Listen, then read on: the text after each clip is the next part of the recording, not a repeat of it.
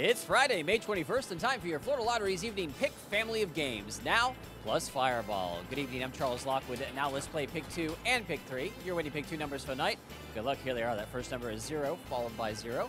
Now let's move over and play pick three. And those winning numbers, five, five, and nine.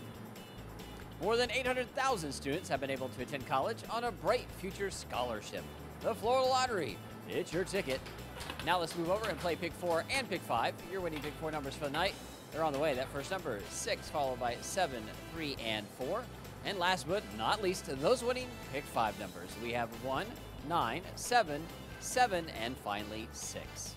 Now, for tonight's fireball number, it is the number two and applies to all pick games. Once again, Florida, good luck. Let's take another look at those winning pick draw numbers. Good night and good luck from the Florida Lottery.